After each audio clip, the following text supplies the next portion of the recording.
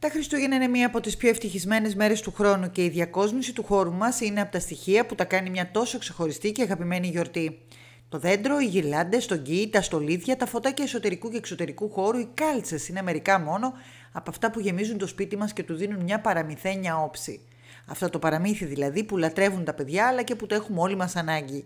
Αν και υπάρχουν πολλοί και διάφοροι λόγοι για τους οποίους κάποιος θα επέλεγε να στολίσει, αυτό συμβαίνει κυρίως για λόγους νοσταλγίας, ώστε να ξαναζήσουμε τη μαγεία.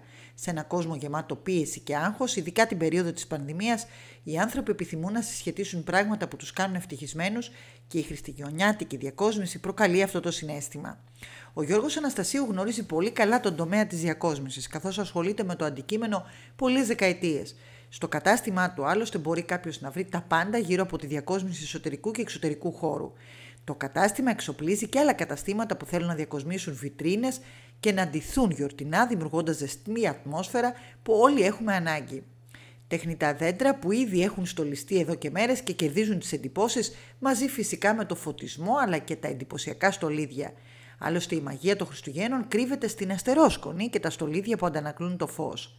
Ο κύριος Αναστασίου ρωτήθηκε λοιπόν για τη διαμόρφωση των τιμών, καθώς φέτος και εξαιτίας της πανδημίας υπήρξε κατακόρυφη αύξηση στα κόστη των μεταφορικών. Όπως λέει, ο κόσμος έχει ανάγκη να φτιάξει τη διάθεσή του και ο Χριστουγεννιάτικος διάκοσμος βοηθάει να μπούμε στο κλίμα των Χριστουγέννων και να αισθανθούμε όλοι μας πιο ζεστά.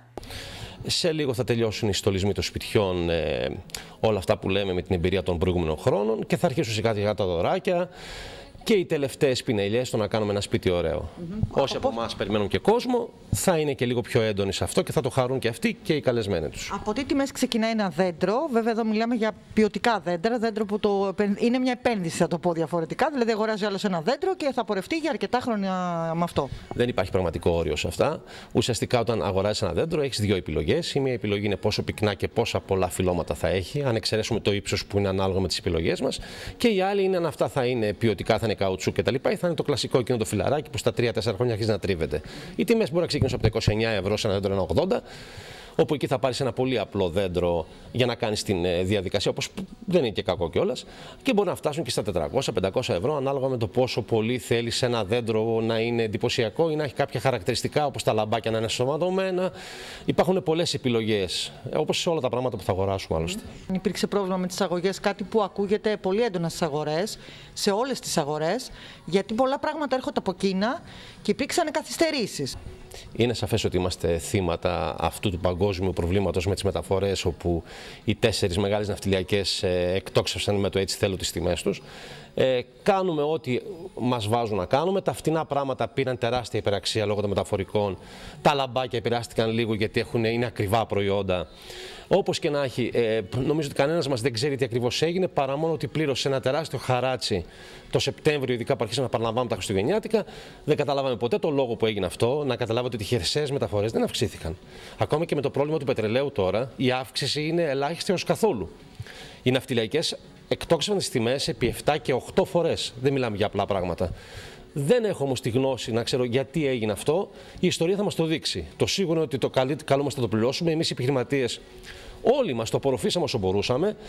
Ε, έτσι λοιπόν οι τιμές δεν θα μπορούσαν να είναι πολύ υψηλές, δηλαδή το κρατήσαμε πάρα πολύ χαμηλά το κόστος αυτό, το απορροφήσαμε μέχρι εκεί που δεν λέγεται άλλο.